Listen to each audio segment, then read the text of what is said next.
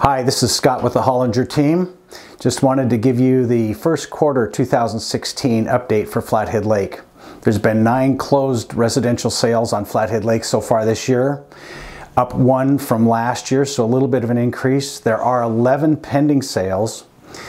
Uh, there are also 32 new home listings that have come available on Flathead Lake, which is an increase of 53% of new homes in the first quarter of the year from compared with last year.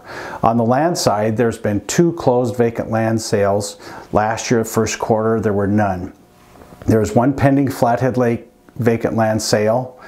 On the new side, there's 14 new listings, which is an increase of 64% new properties coming on the market this quarter compared to last year.